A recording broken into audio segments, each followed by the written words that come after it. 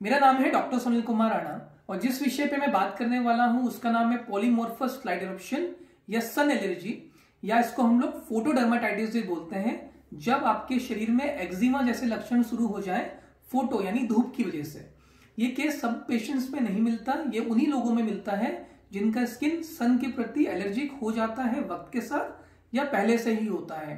यानी कि स्किन की सेंसिटिविटी टूवर्ड सनलाइट बढ़ जाती है।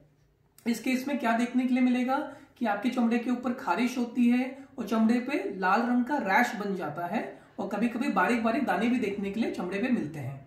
इसके सिम्टम्स क्या है? कैसे आप पहचानेंगे कि आपको पीएमएलई यानी पोलीमोर्फिक लाइट है? तो पहला चीज़ है कि इसमें जलन होती है और इसमें काफ़ी तेज खुजली देखने के लिए मिलती है। ये हरदम आपको एक्सपोज एरियाज़ पे देखने के लिए मिलेगा, जैसे हाथों के पास, जैसे गर्दन पे, जैसे छाती के पास। तो आपको ये पहचान हो जाएगी कि ये पीएमएलई है। इसमें लाल रंग के दाने से निकल आते हैं, जिसमें कभी कभी ब्लिस्टर्स यानी कि पानी के बुलबुले से भी देखने के लिए मिलते हैं, और चमड़ा हल्का सा उब जाता है, उभार सा ले लेता है, जैसे पित्त के केस में देखने के लिए मिलता है। अब हम बात कर लेते हैं जनरली आपको कौन से एरिया से मिलेगा। तो जैसे हमने बताया नेक पे मिल जाएगा आपको अपर चेस्ट पे मिल जाता है आर्म्स फोर आर्म्स पे, और आपको हैंड पे देखने के लिए मिलता है। जनरली ये कंडीशन चेहरे पे नहीं आती है, पर समय के साथ मेलाल रीजन यानी गाल के पास थोड़ा सा माथे के पास या कान पे भी देखने के लिए मिल जाता है। अब हम बात कर लेते हैं कि बीमारी जनरली कैसे होती है, इसका कॉज क्या है? तो इसका एक ही कॉज है, वो है सनलाइट सनलाइट में ultraviolet A and ultraviolet B rays होती हैं और इन्हीं दो रेज की वजह से ये सन एलर्जी देखने के लिए मिलती है। अब हम बात करते हैं, इसका हम लोग टेस्ट कैसे करेंगे? तो पहला तो है, जब आप डॉक्टर के पास जाते हैं तो वो आपके कुछ ब्लड टेस्ट करवा सकते हैं, वो आपकी स्किन की बायोप्सी करा के देख सकते हैं या वो फ़ोटो टेस्टिंग कर सकते हैं। मतलब आपको थोड़ी देर के लिए धूप में खड़ा करके कुछ अंग को धूप में रख देते हैं और पहचान करते हैं कि अगर उसमें रैश आ रहा है कि नहीं आ रहा है तो उसको फ़ोटो टेस्टिंग बोलते हैं।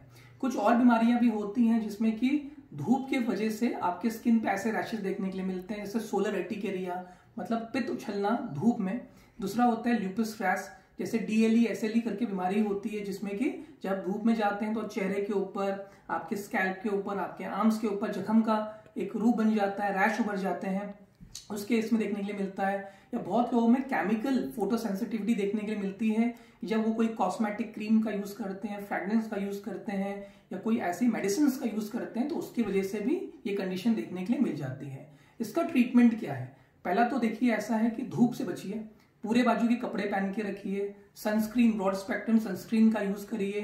कोशिश करिए कि सुबह नौ से लेके चार के बीच में आप धूप में डायरेक्टली ना जाएँ अगर जाना पड़े तो अच्छे से कवर अप करके जाइए। तो ये तो पहले प्रिकॉशंस हो गए। और अगर आपको ये बीमारी फिर भी ठीक नहीं हो रही है तो कुछ खाने की दवाइयाँ, कुछ लगाने की मेडिसिन हम प्रिस्क्राइब करते हैं। जनरली इसमें स्टीरोइड्स की क्रीम दी जाती है, जैसे मोमिताजोन हाइड्रोकॉटिसोन क्लोबिटासोल इसमें हम लोग ऐड करते हैं। बेक्लामेथाजोन बीटामेथाजोन ट्यूब्स हम ऐड कर देते हैं। ये लेकिन शॉर्ट कोर्स लाया जाता है। फिर भी ठीक नहीं होता तो कुछ स्टीरोइड्स ओरल के फॉर्म में दी जाती है, जैसे प्रेडनीसोलोन दी जाती है इसमें। इसमें हाइड्रो ऑक्सीक्लोरोक्विनोन टू हंड्रेड करके एक मेडिसिन प्रिस्क्राइब करी जाती है। इसमें कुछ और भी ट्यूब्स दी जाती है, जैसे कैल्सी पॉट्रियल दिया जाता है ट्यूब के फॉर्म में। ये भी काफ़ी एफिशिएंट है। और अगर इन सब चीज़ों से फ़र्क नहीं पड़ रहा है तो आपको हम लोग कुछ ऐसी मेडिसिन देते हैं जो इम्यूनोसप्रेशन कहलाती हैं। उससे भी काफ़ी हद तक इंप्रूवमेंट आती है, लेकिन इसके लिए प्रॉपर ब्लड टेस्ट करवाते रहना पड़ता है।